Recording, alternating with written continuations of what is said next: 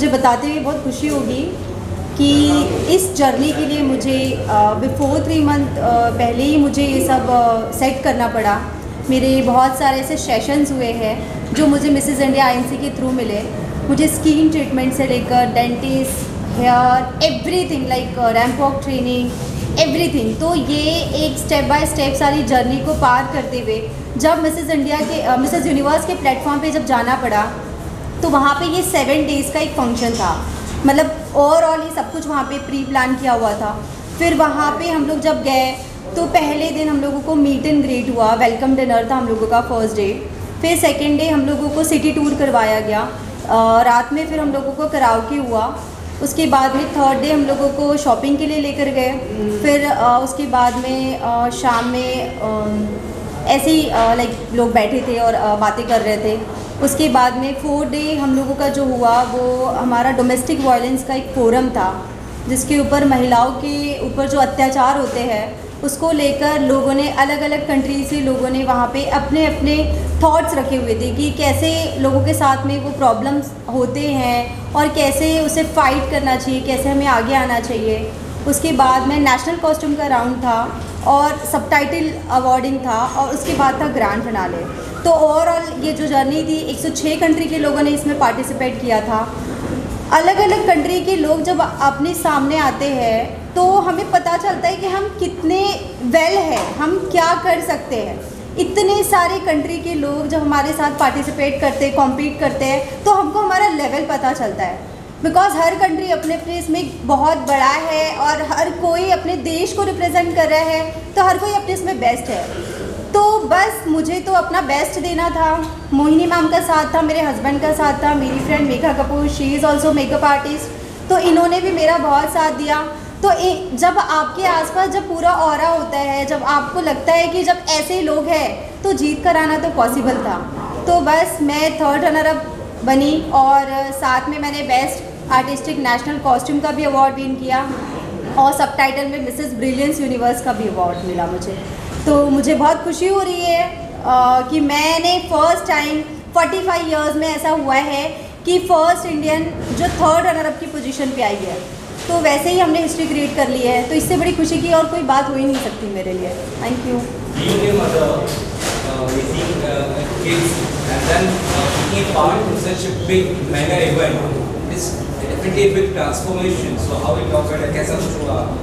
Yes, yes. Actually uh, मेरा मेरा एक बेटा है सेवन ईयर का। तो एक्चुअली उसने ही मुझे इसके लिए बहुत ही किया है कि मम्मा uh, वो मतलब ऐसे लोगों को बोलता था कि मेरी मम्मा तो प्रिंसेस है। तो एक दिन ऐसा ही हुआ कि बाजी बाजू की हमारी आंटी आई और वो मुझे देखने लगे। तो बोले कि आपका बेटा बोल रहा है कि मेरी मम्मा प्रिंसेस दिख रही है आप चलो प्रिंसेस को देखने के लिए। तो वो आए उन्होंने मुझे देखा तो उन्होंने मेरे बेटे को कहा जब वो दो साल का था कि हाँ वाकई आपकी मम्मा तो प्रिंसेस है। तो फिर उसे ऐसा लगा कि मम्मा प्रिंसेस तो क्राउन पहनती है यू you नो know, मतलब आजकल के बच्चे तो इतने स्मार्ट है कि उनको सब कुछ समझ में आता है। तो ये सेट कि मम्मा प्रिंसेस तो क्राउन पहनती है तो आप क्राउन आप क्राउन पहनो।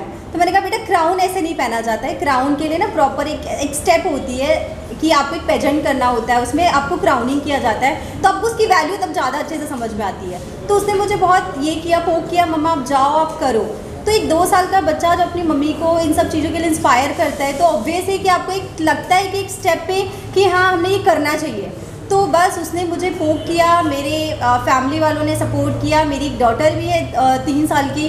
तो ये मेरे बच्चों को देखते हुए मुझे ऐसा लगा कि मुझे करना चाहिए। आज मेरी बेटी तीन साल की है, बट मुझे बोलती है, मेरी मम्मा मिसेस यूनिवर्स बन के आई है। मम्मा, मुझे मिस यूनिवर्स बनना है। तो मुझे बहुत प्राउड फील होता है कि बच्चे अपनी माँ को देखकर जब सीखते हैं तो उनको कुछ लगता है कि हमें आगे कुछ करना चाहिए और हमें आगे बढ़ना चाहिए और अपनी मम्मा जैसे बनना चाहिए।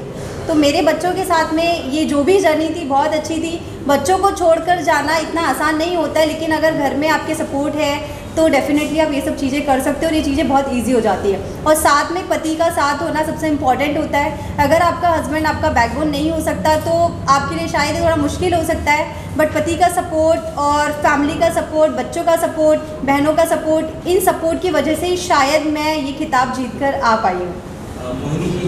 आपका बहुत स्वागत है। ये चाहूँगा इतना बड़ा वो भी इंडिया के बाहर किस तरह से पॉसिबल कितना मुश्किल है? सबसे पहले तो आप सभी का मैं स्वागत करती हूँ। थैंक यू आप सभी समय निकाल के यहाँ पर आए। और बैकबोन रीढ़ की हड्डी जो बोली जाती है, उसके पीछे एक कारण होता है। वो एक सबसे बड़ा सपोर्ट होता है।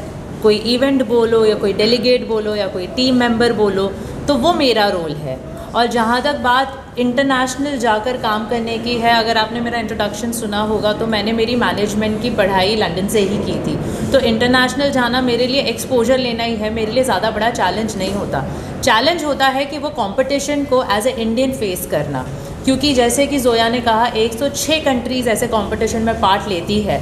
वहाँ पर हमें इंडिया का झंडा लहराना ही है इंडिया को गर्व महसूस करवाना है। ऐसा एक भी गलती से कोई कदम नहीं उठाना है जहाँ पर हमारी आँखें झुक जाए या फिर भारत का नाम वो हो जाए, ख़राब हो जाए। तो उसी जद्दोजहद में हम लगते हैं। शायद जो हमारे इंटेंशन रहते हैं, ठीक है पर्सनल इंटेंशन तो रहते ही हैं कि हाँ हमें क्राउन जीतना है, हमें टाइटल लाना है, पर उससे बड़ा जो हमारा इंटेंशन है, वो है भारत का नाम रोशन करने का। शायद ये जो इंटेंशन है, ये जो देशभक्ति की भावना है, ये हमारे, हमसे सारे चैलेंजेस ईजिली पार करवा देती है। तो हाँ ऐसे हो जाता है।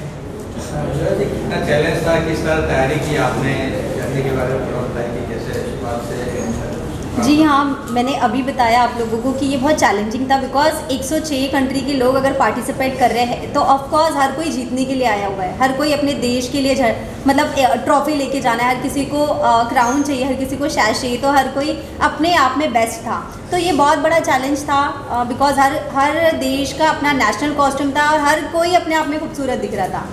बट वो तो जजेस के ऊपर होता है कि आपने कैसे उसे कैरी किया है आप उसे कैसे आप उसके साथ में उसके पीछे की स्टोरी क्या है? तो ये सब चीज़ें देखकर ही वो चीज़ें डिसाइड होती है।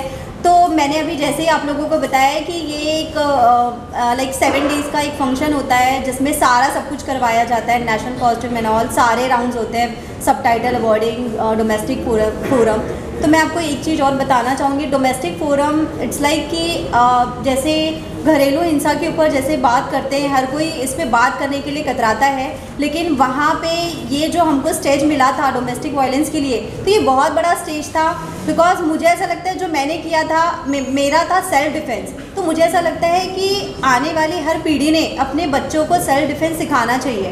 तो मुझे ऐसा लगता है कि शायद मेरा ये जो अ, ये था अ, एक मेरा जो टॉपिक था ये सबसे अलग था। बिकॉज़ हर कोई अपने बारे में बता रहा है, अपने घर के बारे में बता रहा है, अपने पति के बारे में बता रहा है, अपने फादर के बारे में बता रहा है, कोई आस पड़ोस के लोगों के बारे में बता रहा है। बट ये कोई नहीं बताना चाहते कि इसका सोल्यूशन क्या है। तो मुझे ऐसा लगता है कि इसके लिए सबसे सबसे बड़ा जो सोल्यूशन है, वो है सेल्फ डिफेंस का। तो मुझे ऐसा लगता है कि बच्चों को, आने वाले बच्चों को, आने वाली अपनी पीढ़ी को हर माँ बाप ने अपने बच्चों को सेल्फ डिफेंस की एजुकेशन देना ही चाहिए सेल्फ डिफेंस उन्हें सिखाना ही चाहिए। तो बस मेरा भी कुछ ये भी था तो शायद जजेस को हो सकता है वो चीज़ें अच्छी लगी होगी। तो बस मैंने ये सब किया ये जर्नी बहुत अच्छी थी मेरी ओवरऑल और बाकी तो आप लोगों के सामने मैं बैठी हूँ। मतलब बोलते हैं ना कि ज़िंदगी सफल हो गई ऐसा महसूस होता है। 2016 में जब मैंने मिसेस इंडिया में पार्ट लिया था तब तो मैं मिसेस वर्ल्ड का क्राउन जीतकर इंडिया में नहीं ला पाई थी पर मेरा सफ़र मेरी जर्नी तभी ही शुरू हो गई थी। 2016 से मेरी मेहनत जारी थी और हर दिन मेरी यही कोशिश थी कि इंटरनेशनल क्राउन इंडिया में आना चाहिए। इसलिए नहीं क्योंकि मेरी ज़िद थी, पर इसलिए क्योंकि मुझे पता था कि भारत में हर वो खासियत है, हर वो कैपेबिलिटी है कि भारत हर एक ताज पहन सकता है। वहीं से मेरा सफ़र शुरू हुआ नवदीप कौल जब मिसेस वर्ल्ड गई थी, तब नवदीप कौल ने बेस्ट नेशनल कॉस्ट्यूम का अवार्ड जीता। उसके बाद चाहत दलाल जब मिसेस गैलेक्सी के लिए गई तो चाहत दलाल हमारा मेन विनर मिसेस गैलेक्सी का क्राउन जीत कर आई, जो पहली बार इंडिया को मिला। सरगम कौशल गई, सरगम कौशल ने भी मिसेस वर्ल्ड का क्राउन जीता। और आप सभी आए थे, आप हर बार आए थे, और आज जब जोया मिसेस यूनिवर्स का थर्ड रनर अप का क्राउन जीत कर आई है, फिर से आप आए हो, हमें सहारने आए हो, हमारा स्वागत करने आए हो। तो आप लोगों का सपोर्ट भी बहुत अच्छा लगता है, बहुत मेजर रोल प्ले करता है। बस आगे कामना है कि हम इसी तरीके से जो सीढ़ियाँ हैं वो ऊपर ऊपर और ऊपर चढ़ते जाएँ और बड़े बड़े और क्राउन इंडिया में लाएँ। आप, आप किस नज़र से देखते हैं है? मेरे लिए जोया की अचीवमेंट बहुत ही अलग अचीवमेंट है क्योंकि मैंने अभी काफ़ी विनर्स का नाम लिया है। सब विनर्स या तो दिल्ली से रही हैं या तो बॉम्बे से रही हैं। जोया नागपुर की है। तो हमारे लिए स्मॉल टाउन मैं उसको स्मॉल टाउन गर्ल बोलूँगी। जैसे हम एम सी स्टैन को बी टाउन बोलते हैं। तो ये हमारे लिए स्मॉल टाउन है। ये अ, देखने जाए तो एक माइनॉरिटी कम्युनिटी से भी हैं। ये अ, इनके फैमिली में या इनकी कम्युनिटी में अलग तरीके के रेस्ट्रिक्शंस होते हैं। ऊपर से दो बच्चे संभालना घर बाल संभालना वो एक बिज़नेस वुमेन भी है एट द सेम टाइम तो इतनी सारी रिस्पॉन्सिबिलिटीज़ के साथ इन्होंने जितना उमदा परफॉर्मेंस वो स्टेज पे दिया है मैं जोया से सीखती हूँ मेरे लिए काफ़ी सारी चीज़ें होती हैं जो मैं इनसे सीखती हूँ। इनमें धैर्य बहुत है इनमें पेशेंस बहुत है बहुत ज़्यादा फेथ है फ्यूचर को लेके बहुत पॉजिटिव हैं तो ये इनकी अपनी क्वालिटीज़ हैं। ये मेरा नज़रिया है जोया के लिए। जी जिस पायदान पे आप हैं क्या उस पायदान से आप खुश हैं? और नेक्स्ट आपकी क्या तैयारी है? जी हाँ मैं बहुत खुश हूँ बिकॉज़ मिसेस यूनिवर्स में एक क्राइटेरिया होता है कि वो फाइव विनर्स होते हैं। तो चाहे आप विनर हो, चाहे आप थर्ड रनर हो, वो सब कुछ सेम है। और मुझे ऐसा लगता है कि मैंने, मैं अकेली इंडियन हूँ जिसने चार टाइटल इंडिया के लिए लेकर आई हूँ। तो मेरे लिए इससे बड़ी सक्सेस की कोई बात ही नहीं हो सकती। और रही बात मेरे फ्यूचर की तो मेरा फ्यूचर ऐसा है कि मैंने, मेरा एक कारा फाउंडेशन है। मैं एक फाउंडेशन की ओनर हूँ। मैं मेरा फाउंडेशन चलाती हूँ जिसमें मैं malnourished kids under privilege kids और उसके बाद में विडोज़ के लिए मैं वर्क करती हूँ। साथ ही मैं ओल्ड एज पीपल के लिए वर्क करती हूँ। तो मुझे ऐसा लगता है कि यही काम है जो मैं आगे करना चाहती हूँ। मेरा बहुत जल्दी मेरा प्रोडक्शन हाउस लॉन्च होने वाला है जिसमें मैं एल्बम सॉन्ग्स वगैरह बनाना चाहती हूँ। मैं ऑलरेडी मेरा एक मीडिया है अ, मेरा इन न्यूज़ चैनल है जिसकी मैं डायरेक्टर हूँ और हम लोगों का खुद का नाग नागपुर मेट्रो समाचार न्यूज़पेपर चलता है। बस यही मेरे मोटोज हैं। आप इंटरनेशनल पे परफॉर्म कर रहे हैं। आज बड़ी खुशी की बात है ऑक्सर जो है इंडिया में आ रहा है। तो इसके लिए कोई फ़िल्म बनाएँगे या ऐसा कुछ करेंगे जो एक और अवार्ड आएगा ज़रूर मतलब आपने बोला है तो मैं ज़रूर इसके बारे में सोचूँगी। मुझे लगता है कि छोटे टाउन में से ही बड़ी बड़ी कामयाबी निकलती है। निकलती है। बस उसे तो- देखने की तराशने की ज़रूरत है। आप कितना प्राउड फील करती है जोया जी थर्ड क्या कहना चाहेंगे? सबसे पहले तो आप सभी को मेरा नमस्कार। मैं मेघा कपूर अमेसर और से एक इंटरनेशनल सेलिब्रिटी मेकअप आर्टिस्ट हूँ। आज तक बहुत सारी सेलिब्रिटियों को मेकअप दिया है लाइफ में। करीबन 25 से 30 सेलिब्रिटियाँ महिमा चौधरी, काफ़ी ऐसी बड़ी बिग बिग सेलिब्रिटीज़ को मेकअप दिया करिश्मा तन्ना बहुत सारी हैं। पर जो प्राउड की बात बोले तो जब इंडिया के लिए आता है ना, जब इंडिया के लिए जाना है हमको कुछ करने के लिए तो मुझे ऐसे लगा कि जब मैंने इनको काम दिया हमने सोचा था कि होगा कुछ, जो भी होगा अच्छा होगा, क्योंकि हर कोई जीतने ही आया था वहाँ पे। हर किसी को ताज चाहिए था। जब हम इनको काम दे रहे थे तो मुझे ऐसे लग रहा था, सारी फॉरेन कंट्रीज़ की एक से एक बहुत खूबसूरत सी वहाँ पे आई थी। और हमारा जो इंडिया का जब मैं स्किन देख रही थी ना तो मैंने बोला, नहीं ये कलर मैं चेंज नहीं कर सकती। फॉरेन कंट्री के कलर को देख के अगर मैं मेरे इंडिया के कलर को चेंज कर दूँगी तो कहीं ना कहीं मैं नुकसान में चले जाऊँगी। मैंने बोला नहीं मेगा आप इस सत्ताईस साल का जो अनुभव है आज आपको वो यहीं यहाँ पे चलाना है। तो हमने इंडिया की स्कीम को बिल्कुल भी कुछ भी गोरा नहीं दिखाया। हाँ, गोरा नहीं दिखाया। हाँ। जो डस्ट की स्किन है जो नेचुरल कलर है उनको एज इट इज़ रखा। तो जब वो 25 में शायद खड़ी थी अलग ही दिख रही थी जोया। पच्चीस जब टॉप वहाँ पे आ गए उनमें से सिर्फ़ ये आप जूम करके देखिएगा उसमें सिर्फ़ ये अकेली एक बहुत खूबसूरत सी एकदम ऐसा लग रहा है कि भारत माता खड़ी है। टॉप फाइव में भी। Top जब टॉप फाइव का भी। नाम लिया तब जोया अलग ही दिख रही थी। उसका स्किन कलर क्योंकि सब बहुत ऐसे गोरी गोरी दिख रही थी। जोया अलग से ही दिख रही थी हमें। बहुत खुशी हुई इनको काम देने में और जब हिंदुस्तान का झंडा हमने लहराया हम तीनों ने तो सर शब्द नहीं है।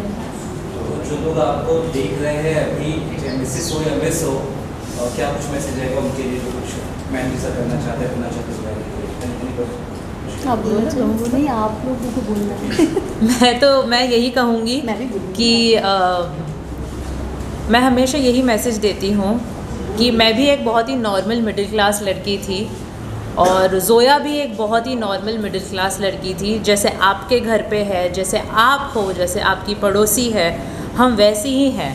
पर बस हमने हिम्मत नहीं हारी, हमने अपने सपनों पर पूरा भरोसा रखा और हर एक दिन अपने सपनों की तरफ़ एक छोटा कदम ही सही लिया और इस वजह से हम यहाँ तक पहुँचे हैं। बस यही कहूँगी कि अपने सपनों पर पूरा भरोसा रखना चाहिए खुद पे पूरा भरोसा रखना है और आप वहाँ पहुँच सकते हो जहाँ आप पहुँचना चाहते हो? हाँ मैं मतलब मैं आपको कुछ बताना चाहूँगी। जैसे आपने पूछा है कि आपको मिस एंड मिसेस के लिए कोई एक मतलब मैसेज देना है तो मैं अपनी ही एक स्टोरी बताती हूँ कि मैं जब छोटी थी मेरी मदर को चार बच्चे थे तो तीन बच्चे मेरी मम्मा के ख़त्म हो गए। मेरे दो जो भाई बहन थे वो बचपन में चले गए। उसके बाद जो बड़ा भाई था मेरा, वो थर्टी ईयर्स की एज में चला गया, यानी आज उसको सेवन ईयर्स हो गए। तो मैं जब मेरी मम्मा के, जब मैं, मेरी मम्मा जब प्रेग्नेंट हुई तो मेरी मम्मा ने सोचा कि मेरे पापा थोड़े से अल्कोहलिक थे। तो मेरे पापा को ऐसा लगा, मम्मा को ऐसा लगा कि शायद मेरे पापा हमारी परवरिश नहीं कर पाएँगे। तो मेरी मम्मा को लगा कि मैं बॉर्ड कर लेती हूँ। मेरी मम्मा तीन बार मुझे बॉर्ड करने गई, लेकिन नहीं हुआ। तो वो तीन बच्चे तो चले गए, जिसको अबॉर्ड करना चाहती थी, वो बच्ची आज उन्हें इतना प्राउड होता है कि मेरी बेटी ने आज हिंदुस्तान का नाम रोशन किया है, जो आज तक मिसेज यूनिवर्स के प्लेटफॉर्म पे कभी नहीं हुआ। तो मुझे इस चीज़ पे बहुत प्राउड है और हर मिस और मिसेस को मेरा ये मैसेज है कि अगर आप, कभी भी आपको लगता है कि आपको ये स्टेज पे आके खड़ा होना है, आज आपको अपनी जर्नी स्टार्ट करना है। जर्नी स्टार्ट करने के लिए कोई एज नहीं होती। आप किसी भी एज में अपनी जर्नी स्टार्ट कर सकते हो। आप मिस हो मिसेज हो, आपके अपने सपने हैं। आप अपने सपनों को देखो आप क्या कर सकते हो। चाहे वो ब्यूटी इंडस्ट्री हो, चाहे वो कोई बिज़नेस हो, चाहे वो एक सॉफ्टवेयर इंजीनियर हो, चाहे वो हार्डवेयर इंजीनियर हो, कोई भी हो, बस लड़कियों ने अपना एक अस्तित्व बनाना है, एक स्टेप लेना है और अपने लिए काम करना है और अपने नाम को रोशन करना है। बस मैं इतना ही कहना चाहूँगी। Thank you